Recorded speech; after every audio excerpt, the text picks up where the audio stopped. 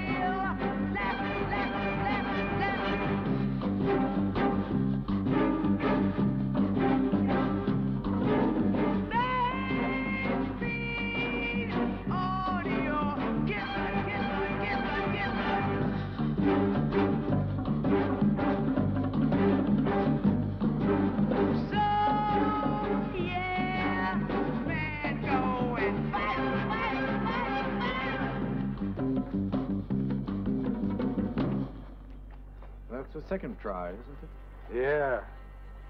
I'm beginning to feel important.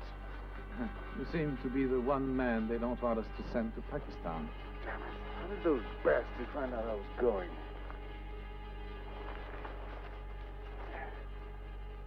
That could have been me.